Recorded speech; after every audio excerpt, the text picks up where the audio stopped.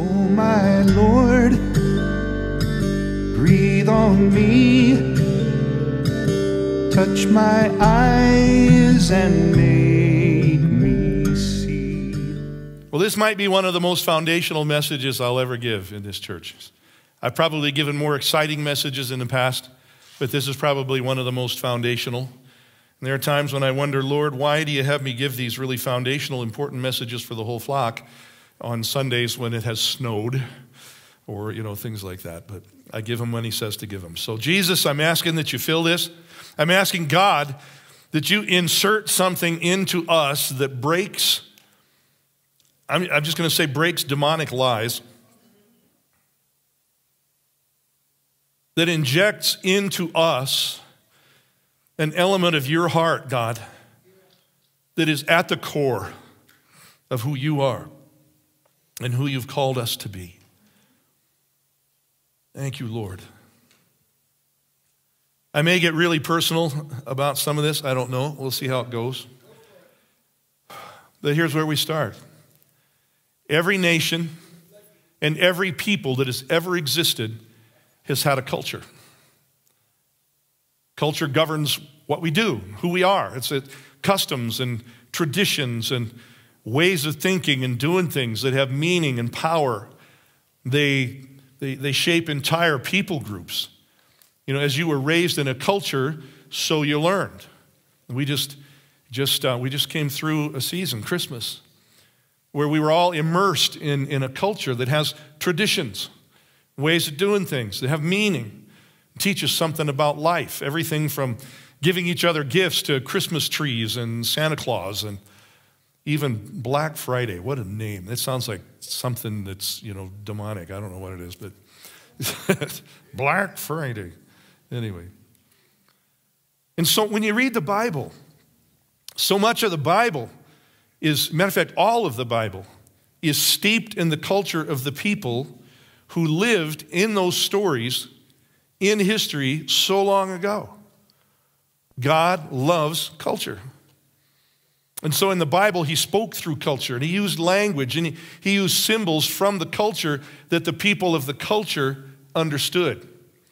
And some of that culture is 4,000 years old and it no longer exists. And it was a culture that was very different than the culture you and I live in. And so there's this tendency, I think, to miss the heart of what God was doing and saying in those Bible stories that we read.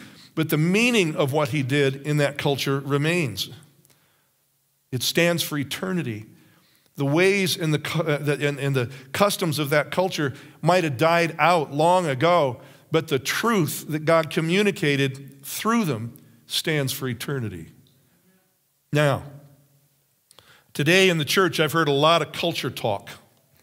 I've heard a lot of language tossed around that, while it may be true, it tends to lose its meaning over time because it misses an essential foundation that I'm going to talk about today.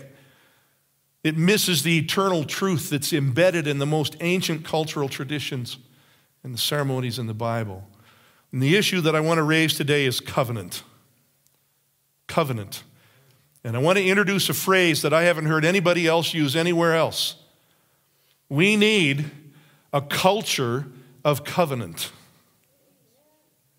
A culture of covenant. In ancient Bible times, there were procedures, there were traditions that were involved in. If you're going to establish a culture, I mean, I'm sorry, if you're going to establish a covenant, there were, there were procedures, there were traditions ceremonies that have been lost to us that define what covenant means. And so in Genesis 15, this is just some, I'm, I'm mess with you later. In Genesis 15, God had already reached out to Abraham. He'd already called him to leave his father's country and go into a land that he would show him. He'd already prospered him and multiplied his flocks. He'd already chosen him. But the covenant that God was about to make was a whole lot more than any of that had already been. For Abraham, his name was still Abram, and it was time for Abram to take a step up. It was time for a destiny that had been appointed for him to begin to unfold. It was time for favor to really be launched. And so God came to Abram, who was not yet Abraham, in a vision, and he began to make promises. God was about to make a covenant with Abraham, and that began with promises and with commitments. Covenants begin with promises and commitments. Genesis 15, verse 1. God said to Abram, This is the first of the covenant commitments I am a shield to you. I'm going to protect you. Your safety counts. I am a shield to you. Your reward shall be very great. Abram answers in verse 2 What will you give me since I am childless? Childlessness was an important issue then because a man felt cursed if he didn't have children. So you're going to bless me, you're going to make me very great, you're going to shield me. Well, how are you going to prove it? What are you going to show me since I don't have a child? In verse 4, God promised him a son. It's another covenant commitment. Way important in ancient times. And then he said in verse 5, Now look toward the heavens and count the stars, if you are able to count them. That's a little foreign to us, too, isn't it? I remember when I was a kid, I could still go out and lie under the stars and just get lost in them because I could see them. Try go lying in your dark, you know, try, try, try at night, go lie in your backyard and see if you can see any stars anymore. Look toward the heavens and count the stars if you're able to count them. And he said to them, So shall your descendants be. And then the promise got bigger in verse 7. The promise of land. I'm going to give you this land. And it was huge, all the way to what we now call Iraq. And he said, Oh Lord, how may I know that I will possess it? God's making covenant promises. Abram wants to know, How will I know? And so the answer was that God, and I want you to follow this language God cut a covenant with Abraham. Cut a covenant is very specific language. Cut a covenant because animals were cut and blood was shed. Was part of the ceremony that established the covenant. It was a blood covenant. Christians talk a lot about blood covenant. We don't have one freaking clue what's really meant by blood covenant. Blood covenant. You got to understand, blood covenant is the thread that holds the whole Bible together. It's the heart of the gospel, it's everything. It's the whole thing. It's the heart of the story of salvation. So, when a blood covenant was established, there were these ceremonies and customs. Blood covenant was like, it was like a contract that bestowed blessings it bestowed rights, it bestowed privileges, but it also came with obligations and with penalties if that blood covenant was violated or broken. Do you follow me? The first step in a blood covenant is that one person has to be the initiator, has to ask for it. Abraham asked God for a firm and clear guarantee that God would do what he promised. And God responded by initiating this ceremony of what, it, of, we, of what you might call the blood brother covenant. Genesis 15, verse 9. So he said to him, God said to Abraham, Bring me a three year old heifer, and a three year old female goat, and a three year old ram, and a turtle dove, and a young pigeon. Then he brought all these to him, and he cut them in two. And he laid each half opposite the other, but he did not cut the birds. In other words, what he's done is he's taken the animals and he has cut them down the middle and he's splayed them out with a space, a passageway in between. He cut them in two, slew the animals, and cut them in two because entering a blood covenant is a promise unto death for each partner to the covenant. It's symbolized by the sacrifice of the animals. It was a way of, of calling death down on yourself if you would violate the covenant. Now, listen carefully because I'm working up to messing with you. It was a binding of their two lives together. It was an exchange of life, one life for the other life. And so now, if you're in a blood covenant, whatever I have is at your disposal, and whatever you have is at my disposal. We, we're, we're in a blood covenant. We are now bound together as family. That's what it meant. I'm not giving you even all the details of this. It was a detailed thing. We're bound together as family. Your children are my children. My children are your children. Your welfare is my welfare. My welfare is your welfare. And to symbolize that exchange, they would pass between the two halves of the animal, passing one another in like a figure eight, changing places. Because they're exchanging life. And so God Himself, listen to me, God Himself passed between the pieces of the sacrificial animals. Verse 17 It came about when the sun had set that it was very dark, and behold, there appeared a smoking oven and a flaming torch, which passed between the pieces. God is making a blood covenant. Verse 18 On that day, the Lord made a covenant with Abraham, saying, To your descendants I have given this land. So, God's first covenant promise, his first covenant commitment, was to bless Abraham with the land, the promised land. Partners to the covenant would each make promises.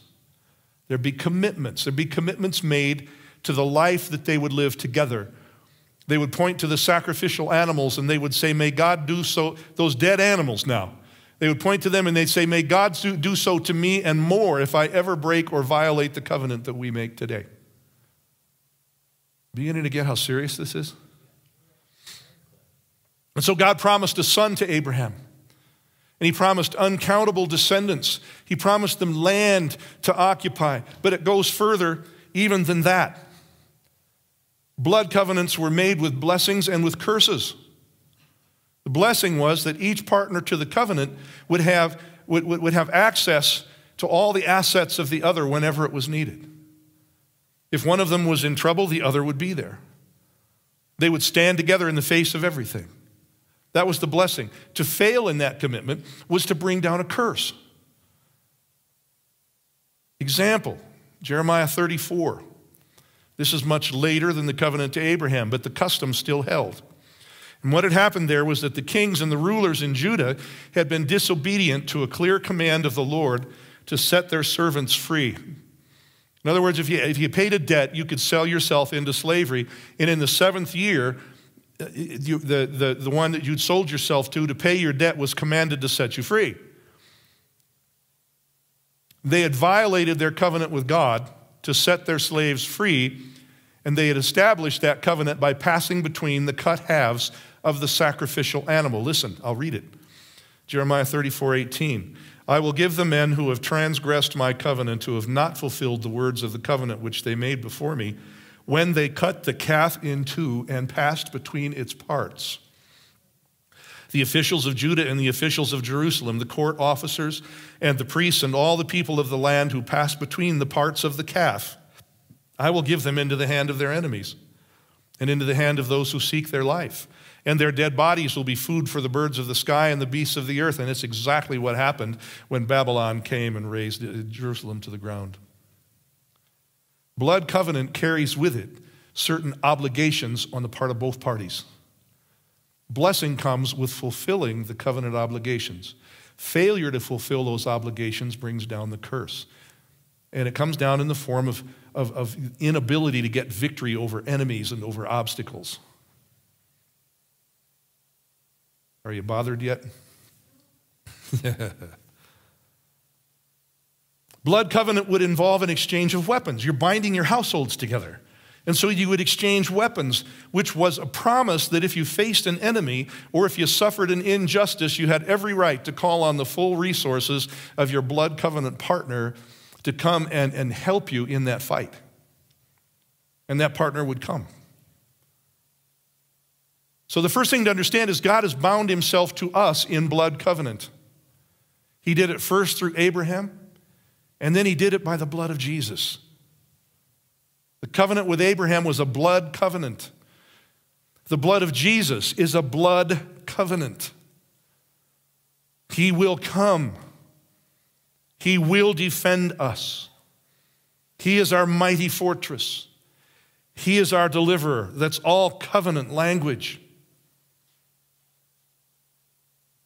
All that is all in this covenant, all that's God's is ours and all that's ours is God's. And when we enter into that covenant with Him, That's what becomes true. Under blood covenant, we have the covenant right, listen to me, we have the covenant right to petition heaven for justice. We have the covenant right for him to come to our aid. We have the covenant right to access the full might of our God to come, to come against any enemy who unjustly opposes, because it's a blood covenant initiated through the broken body of Jesus. But that covenant, and this is what's really important, it exists not just between God and us. When we, come, when, we, when we become part of the body of Christ, we become party to the covenant that He has with His people because He did it for us collectively, not just for a gang of individuals. You didn't get individually saved, you entered into a covenant body. And so the terms of the blood covenant become binding on us in our relationships with each other. 2 Timothy 3.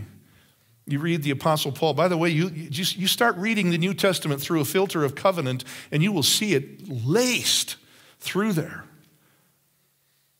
2 Timothy 3, verse 2 For men will be lovers of self, lovers of money, boastful, arrogant, revilers, disobedient to parents, ungrateful, unholy, unloving, irreconcilable, malicious gossips, without self control brutal, haters of good, treacherous, reckless, conceited, lovers of pleasure rather than lovers of God, holding to a form of godliness, although they a form of godliness, although they've denied its power. That's a list of things that are the opposite of the promises made in a blood covenant after the biblical model. And the penalties even written into it, if, if, the curse for breaking that covenant. If we break our covenant with each other, then we violate our covenant with God. And if we do that, then we forfeit covenant protections in these last days. And the penalty is they have denied its power. What does that mean? Think miracles diminished. Think fewer lives saved. Think increased struggles when, when you face obstacles. Think loss of joy. Think dryness in worship. In the blood brother covenant, there was a name change as each party adopted the other as family. There was actually a name change. So you took on part of your covenant partner's name, and your partner took part of yours. And so in Genesis 17:5, Abram's name is changed to Abraham, Abraham, because what happened was they inserted one syllable of God's name into Abram's name. Yah, Abraham. The same way, his wife Sarah becomes Sarah, again inserting a syllable from God's name, Yah, into her name. There's an exchange of names. When you and I become when, you and I take part, of, when we become Christians, when we really, when we're brought into this blood covenant, we take a part of Jesus' own name. He's Messiah, Mashiach in the Hebrew. When we use the name Christian, that's the way the Greeks translated Mashiach. Christos in the Greek. So we're Christian. We've now taken his name. There's an exchange of names. And that means there's a new identity in this, in this blood covenant. Every blood, and here's the next every blood covenant ended with a covenant meal to celebrate the union and to remember the promises that were the centerpiece of the covenant. Now, again, I've said blood covenant is the thread that unites the whole Bible. Blood covenant is what bonds the people of God to one another in love. We celebrate, now listen, remember, every covenant, every covenant ceremony ends with a meal to celebrate the terms of the covenant, right? We have communion. That's what that is. It's a covenant meal. We dedicate the elements of communion. We quote Jesus. What did he say? Matthew 26, 27, 28. When he had taken a cup and given thanks, he gave it to them, saying, Drink from it, all of you, for this is my blood of the covenant. Luke 22, 20. In the same way, he took the cup after they had eaten, saying, This cup which is poured out for you is the new covenant in my blood. Blood covenant. Every time that we take communion, it's the covenant meal. That's where we, we declare, we celebrate that we have a blood covenant with God and we have it with one another. It should be a time for reaffirming our promises and our oaths before God, as well as remembering His promises and oaths to us. That's why the apostle, listen, because this is something we do together, because we're bound in that same covenant. If it's a covenant with Him, it's a covenant with one another. That's why the apostle Paul got so upset with the Corinthian church over the way they celebrated communion. 1 Corinthians, listen to this 11, verse 18. For in the first place, when you come together as a church, I hear that divisions exist among you, and in part I believe it. For there must also be factions among you, so that those who are approved may become evident among you. Therefore, when you meet together, it's not to eat the Lord's Supper.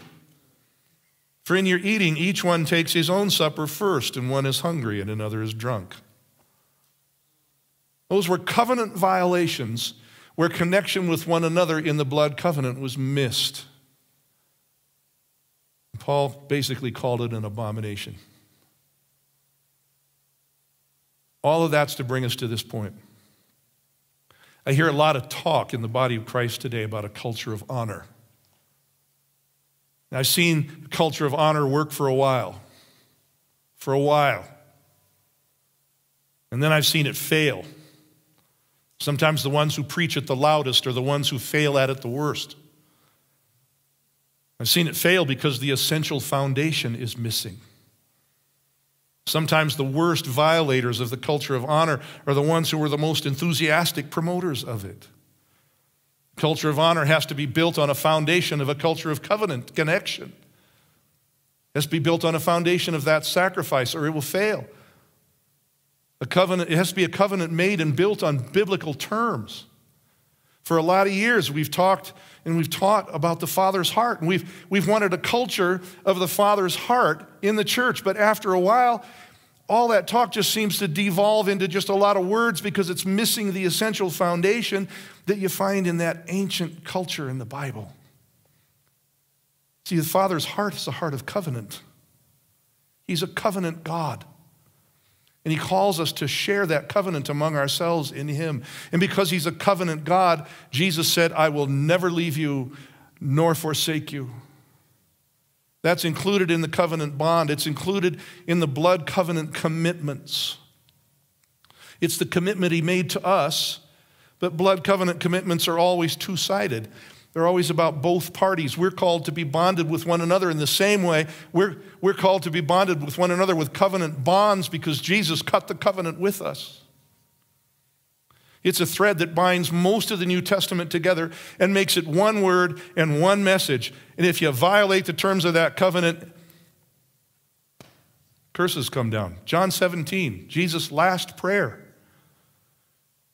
Verse 21 that they may all be one. That's covenant language even as you, Father, are in me and I in you, that they may also be in us, so that the world may believe that you sent me. The glory which you've given me, I've given to them, that they may be one, just as we are one. I in them and you in me, that they may be perfected in unity, so that the world may know that you sent me and loved them, even as you have loved me. There's another portion of scripture, I was going to look it up and include it. I'm terrible at addresses, but it says, He who destroys the body, I will destroy. That's a covenant penalty. Philippians 2, verse 3. This is covenant language. Listen. Do nothing from selfishness or empty conceit, but with humility of mind, regard one another as more important than yourselves. That's what happens when you enter into covenant. Do not merely look out for your own personal interests, but also for the interests of others. Have this attitude in yourselves, which was also in Christ Jesus. That's what the covenant commitment is. Our lives are bound together. Now, your life is more important than mine. That's the exchange of life. Remember the exchange of weapons for mutual defense. Your life is now my life. Your family is now my family. I don't believe that we will ever see a lasting revival. I don't believe we will see the end time outpouring of the Holy Spirit until and unless we develop a culture of covenant to undergird it. And we've had anything but that in the church in America. Not even close. Culture of covenant. That's an attitude, that's an atmosphere of attitude and practice and, and, commitment to one another that teaches everyone in it to live in a sacrificial, unself centered way. In a culture of covenant, each individual exists for the benefit of the whole, and the whole exists to benefit and strengthen the individual. Covenant, it's, it's a commitment to one another because of, of our commitment to Jesus that cannot be broken.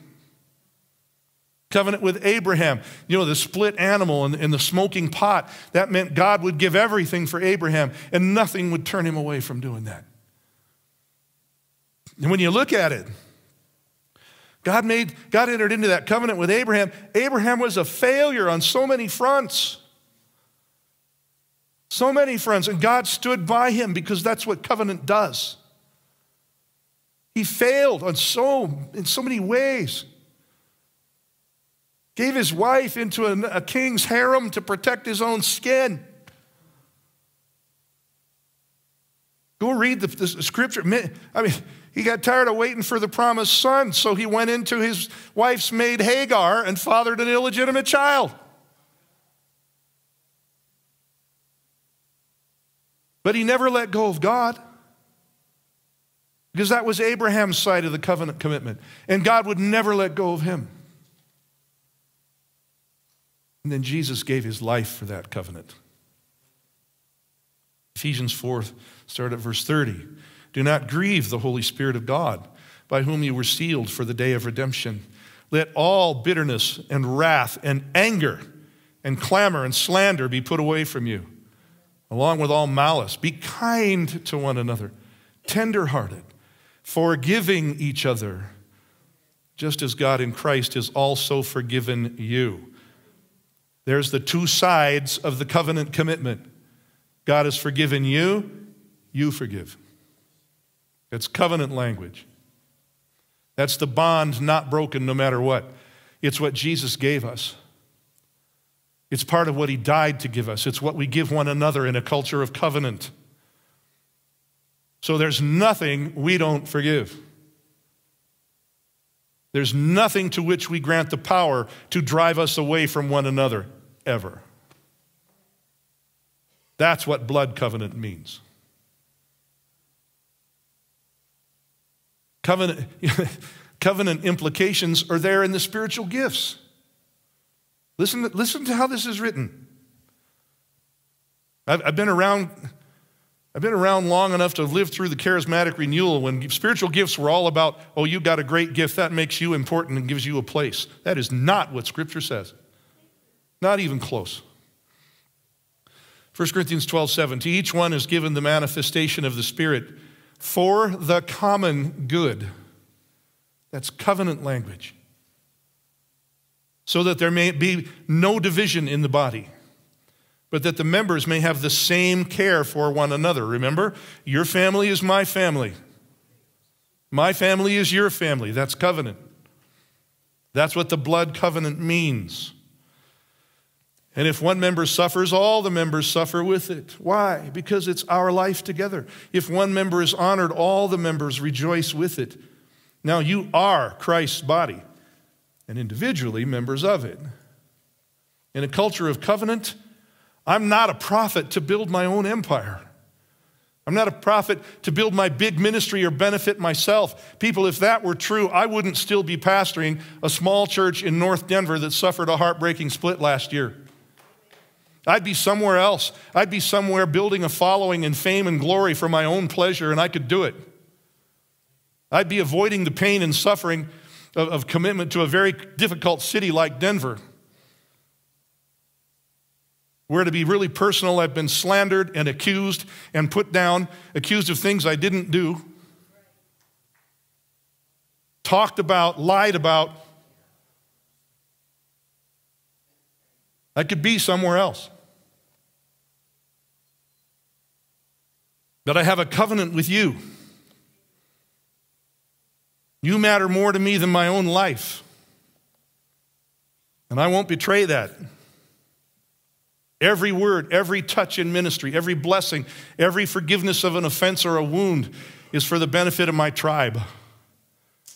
It's for my covenant people. What I have belongs to them.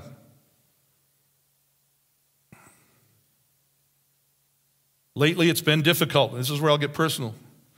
It's been difficult because I'm not doing well physically. Physically, I'm at the breaking point.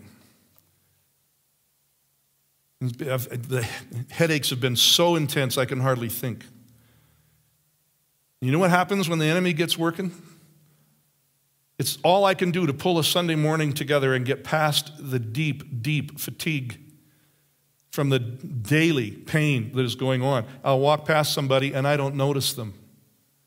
And then they're angry. I forget to say something.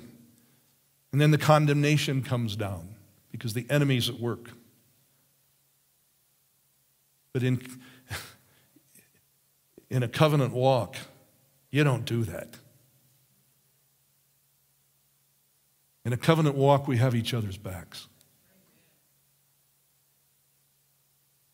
In a covenant walk, we have each other's hearts. We need a culture of covenant, or there won't be a big, sweeping, lasting revival in America. I've seen them all come and go. And what we get is the stuff that's up here. Oh, the move of the Spirit. Oh, the prophetic. Oh, the fivefold ministry. Oh, the culture of honor but we don't get covenant, and so it never lasts because it has no foundation on which to rest. And all across America, we're violating covenant. We're violating blood covenant. And then wonder why we have no voice in America anymore. That's the hard word. You know, if you have a gift of healing, that's not so that you have a place or position. It's not so you have a place of being recognized. It's not about you. Your gift belongs to your covenant people, it's for them. It's that what you have belongs to the family. That's covenant culture. Those people are now more important than your own needs. And they now are called to regard you as more important than their own needs. If you're a teacher, that's not to advance your cause or establish your authority or amaze people with your insights. It's for the building up of the people that, that, that you've come into the covenant with through Jesus. You know, Americans come to church to be fed. God, I'm sick of that. Come to church to be fed. Too many churches cater to that. We tend to come as consumers seeking entertainment or a product, and too many cater to that. We tend to come to church as a bunch of isolated individuals who don't have any consciousness at all of the impact of our own lives and our own actions on others, and you hear very little teaching about our interconnectedness. Your best life is just before you. That's not the gospel.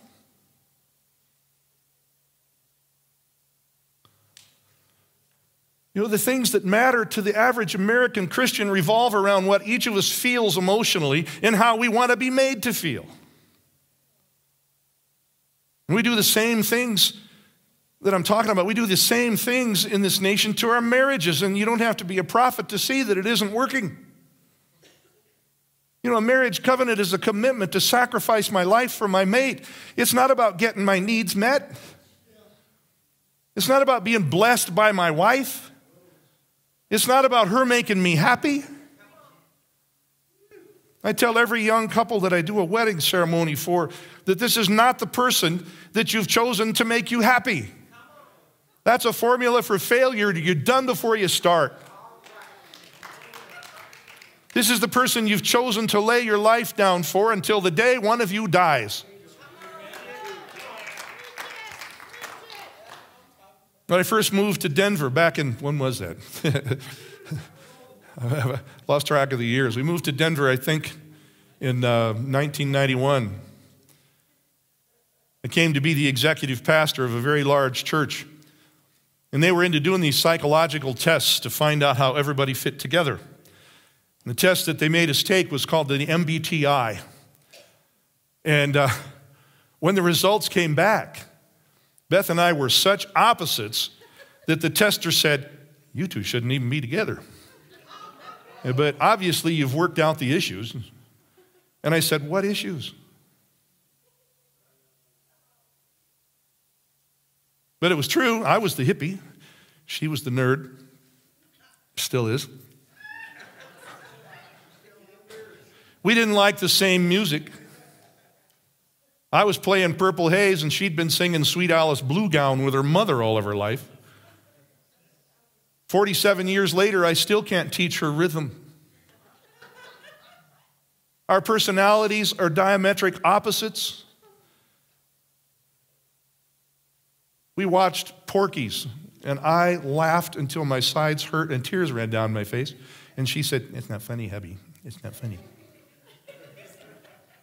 We go to Estes Park, and I jaywalk and then wait on the other side of the street while she goes to the corner and waits for the light. because she won't break the rules. and on and on it goes. Yeah, you, we've got a witness to that, don't we? but, you know, we've been happily married for 47 years, and it's not because we're so compatible. It's not because, it's not because we always met one another's needs or always said the right thing. It's not because we never had a problem, it's because of blood covenant. I'll insert this too, I hadn't planned it.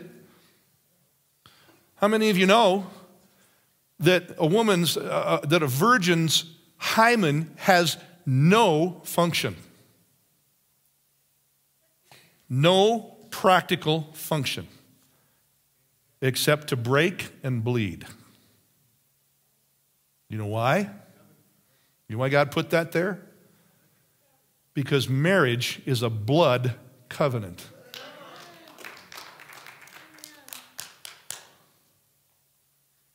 So Beth is more important to me than me. My wife is more important to me than me. And I'm more important to her than her. And we act on it. And I'll tell you what, when you do that, something that you can call real love grows and real joy and real peace. And it's a thing that can never be threatened. More important to me, more important to me is how I affect her than how she affects me. That's what happens when you pass through the halves of the blood sacrifice in the figure eight and exchange places. Blood covenant is an exchange of life. And what matters is how my actions affect you, my family, and you, whom I would defend with my life, because that's what the covenant means.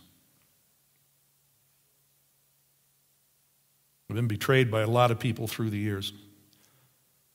And anybody that's known me all that time knows that if I get a call from somebody who cut my heart out and they said, Come, please pray for me, I'm in the hospital and dying, I will go in a heartbeat. Because I won't break the blood covenant. That's what covenant people do. Jesus defended us with his life while we were yet sinners. That's what covenant people do. Philippians 2 have this attitude in yourselves, which was also in Christ Jesus. We have passed in a figure eight between the halves of the, of, of the sacrifice in Jesus' body and blood. We've exchanged places with one another and with our Savior through the body of Jesus, through his blood that does more than cleanse us from sin. If that's where you stopped, you missed it.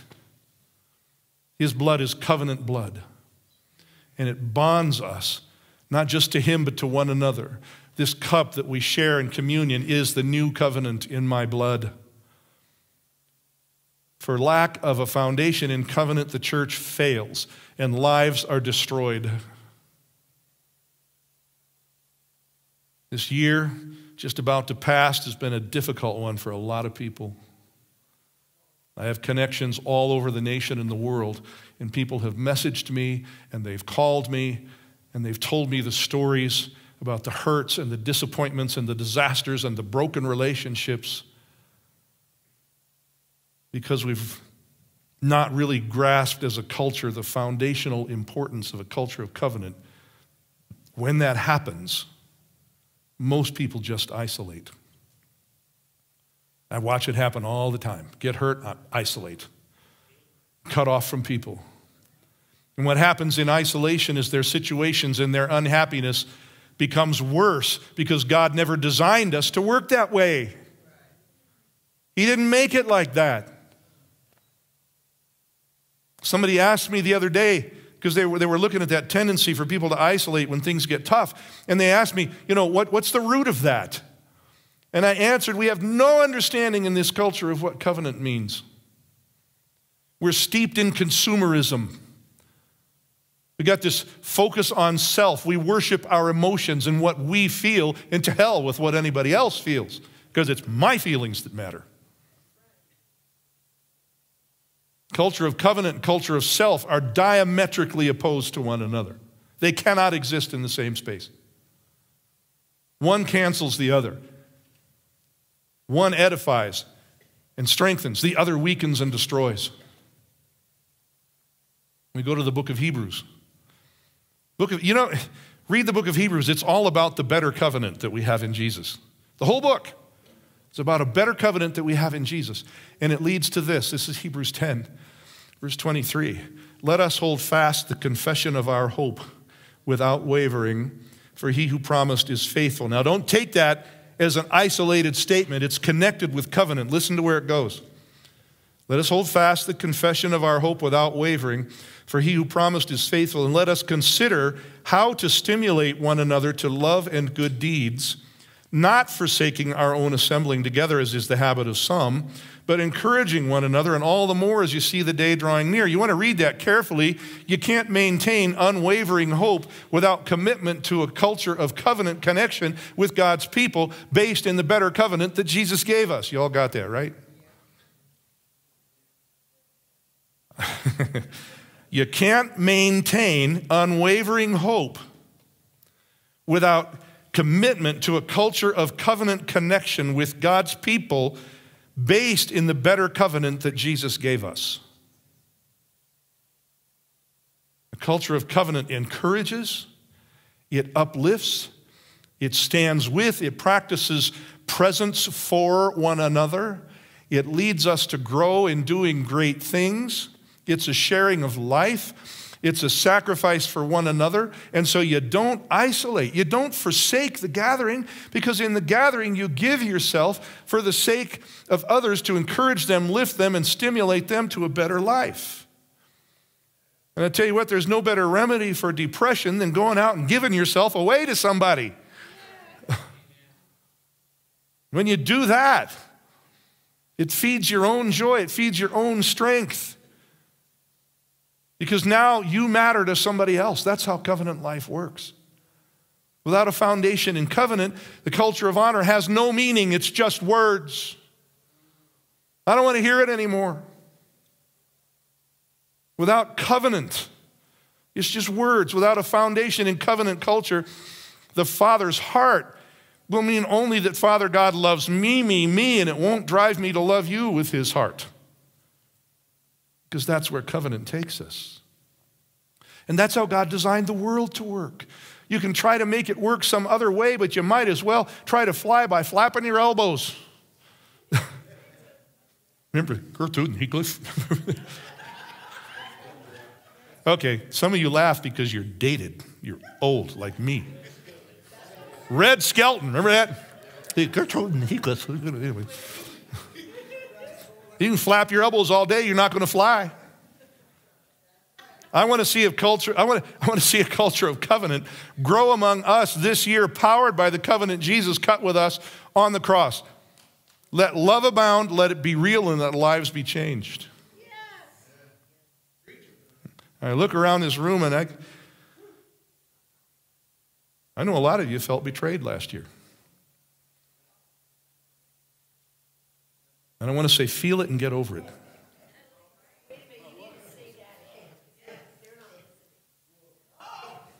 A lot of you felt betrayed last year. And trust me, there's nobody in this room felt more betrayed than I did. Get over it. Feel it and get over it. And get on with the covenant that God has given you with these people, with these brothers and sisters. And let's see the kingdom of God manifest in this place.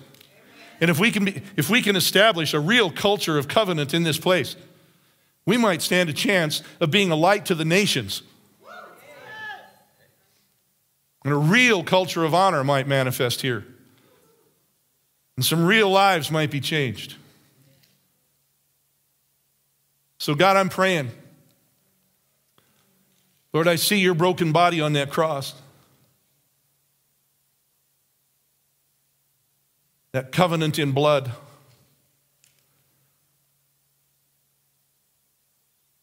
And Lord, I pray that it becomes real in our hearts.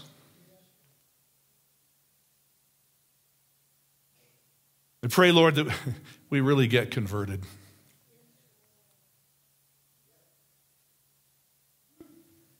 And I bless this next year to be the most glorious we've ever had.